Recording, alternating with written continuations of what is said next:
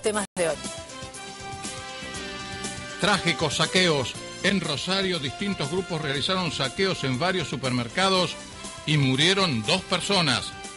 En Bariloche llegaron gendarmes y el ministro de Seguridad de la Nación, enviados por Cristina Kirchner. Hoy la situación está calma pero tensa.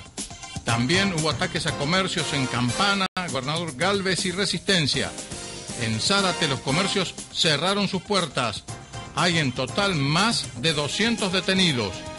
En Córdoba se han reforzado las rondas de vigilancia de la policía y de la Sota mostró su preocupación. Los salvó el perro.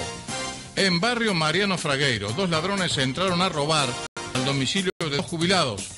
Como no tenían plata, les gatillaron en la cabeza, pero allí reaccionó un perro Rottweiler que atacó a uno de los sujetos, por lo que finalmente ambos huyeron.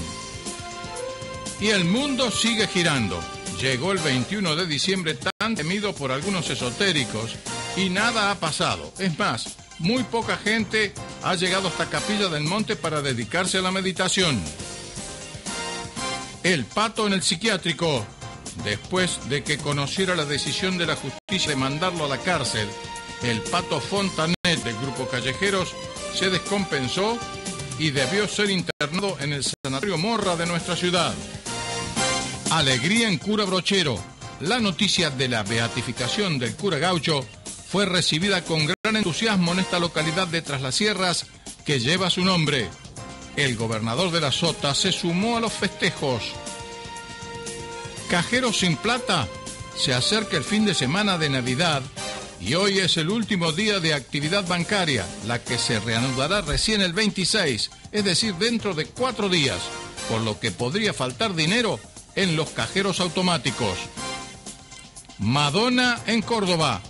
Se había previsto que la reina del pop llegara desde Chile recién hoy a nuestra ciudad, pero adelantó su arribo y desde ayer Madonna está alojada en el Hotel Sheraton en medio de un total hermetismo y medidas de seguridad. Hicieron doblete. Por segunda vez la pequeña Noelia y Hernán Piquín se consagraron como ganadores del Bailando por un Sueño en un programa que tuvo una audiencia récord para este año.